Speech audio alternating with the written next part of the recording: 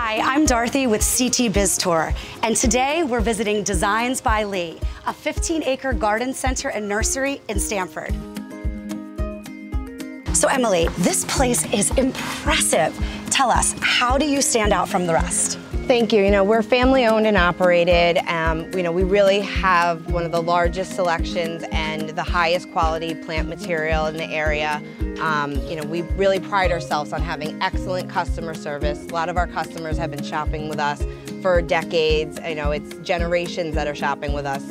And now you just won a really impressive award, so can you tell us about that? We did. We are really honored to have been voted the second year in a row Best Garden Center of the Gold Coast. And this year we actually won um, Best Home Design, Garden Design and Best Landscape Design as well. Wow.